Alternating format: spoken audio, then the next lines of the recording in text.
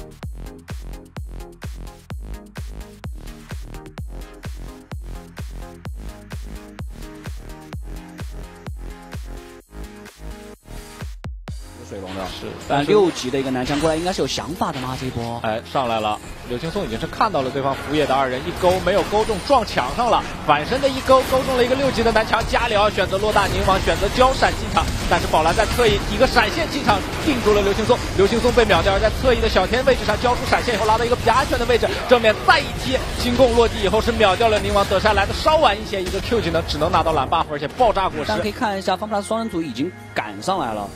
这波对于帅哥而言可能有点危险，这边寒冰已经露头喽。血男到六了，有闪现的，有局了都哦呦，差一点。有吗？嗯，天爵在的话，能够帮他就缓清一些压力。对，嗯，来下路了，直接选择 T 一技能没有蹬回来，Q 也空了，这波可能要先交大，而且加辽已经落场的情况下，帅哥出来的一瞬间，可能已经难逃一死了，手里没有闪现，选择强换进攻这个位置，再次躲到一个 Q，这个走位出来的一瞬间被四人包夹住，而且艾希还在远处支援了一波剑。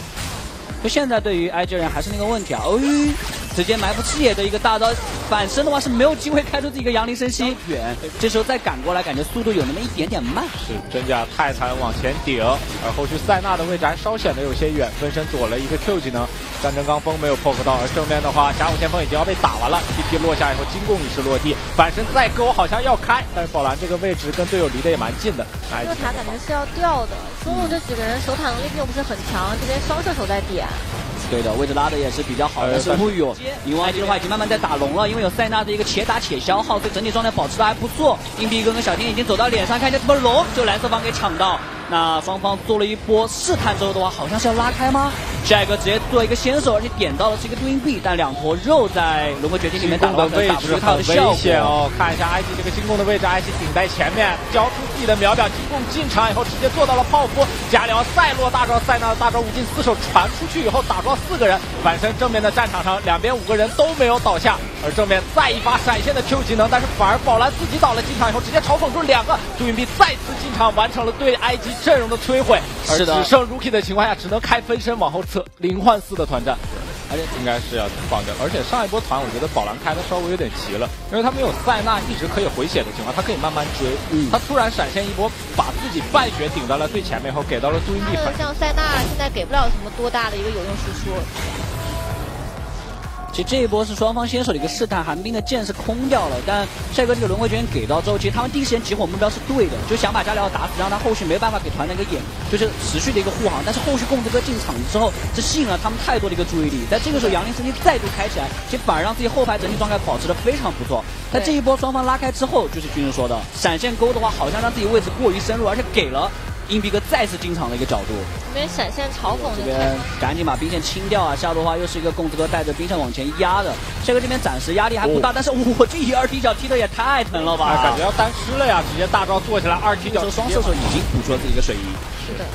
看一下这一波直接踢过来一脚，主要是他。踢完二踢脚以后回了一下头，想了一下，发现我我的伤害这么高吗？所以看到想要尝试一下嘛，但位置不是很允许。哎呦，寒冰出了一剑，但是、啊、但是宝蓝这个位置一 Q 虽然没 Q 到啊，但是艾希贴着脸的减速持续的给到以后，射手都专注打了一套伤害，宝蓝只能开启自己的石像鬼板甲，但是原地还是被秒杀。闪现过来的一发平 A 在上路的话再次踩速，虽然定到了大招里，但是又有什么用呢？金贡就等自己的二踢脚，一技能再过去以后 Q 一下。闪现过去躲 Q，哎，两边要操作了，塞纳的大招过来后盾量好高，一 Q 后好像被动要烫死冥王是完成了，这种装备差还能有操作的想法，看一下这波操作。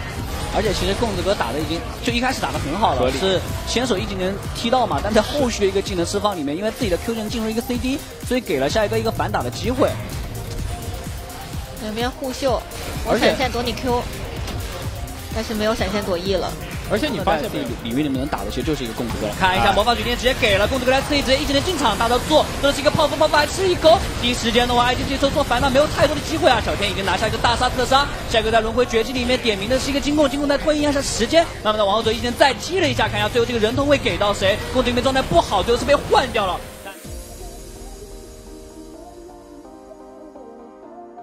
去探啊，进场以后没有到四道，那可能就要算了。一技能尝试了一下，但没有留住一个理想的人员。次一的话，小田过来再挂一个减速，留下这个宝蓝，逼出宝蓝的闪现之后的话，您这边也是赶紧开启这个幽梦往后拉。小田这边杀气有点重，但好，但是我再跟你来接团哦。正面这个位置交闪连剑带钩一起躲，后面有个 TP 来自加辽断后了，而且宁王上一波是把闪现交掉，这波直接被吸住。那宁王倒了的话，Rookie 的位置也有点差。这波方 plus 选择先找人，再可能去打一个大龙的一个决定。这个时候有青钢影在，哎呦，选择不浪费时间了，来不及了呀。对，而且开局有水银。啊，对，这个位置的话，硬币哥一马当先，虽然被打了一下，但这个时候有点顶的，第一线 ID 伤害有点欠缺呀。这时候三方打在一起，这个公子哥再度选择一个进场，逼出响鬼是反角蛙，宝蓝这边好像要快倒了。远距离一个万箭齐发是没有打到，但下一个在后续逼出一个杨凌生息在。领域里面跟对方做了一波缠斗，但对方人员是要更多的，最后还是杜银币拿下了这个人头。是，而正面的话再配合两个大招的无解进场，塞纳被留到了原地，两波闪，两波团闪现都没有机会交。那这波要一波了呀，正面只剩下三个，但是这三个人感觉面对五个人加大龙 buff 一个推进不太好。这边进攻也是找到了 Nico 的一个位置，因为放了一个大招之后开一个 W 加速往前溜，但是后面还是被 E 技能跟到了一个假身，哇，直接 TP 回家。这波反向逃跑来到正面，但是自己将闪现调整位置给自己的宁王再度倒地，宝蓝也是顺势而倒。那只剩下 Rookie 一个人的情况下，方 plus 要顺势一波了。我们要恭喜他们，先手拿下了这一场的一分，而且问题就来到 IG，因为先手主动选了红色，反而没取得一个很好的效果。接下来可能。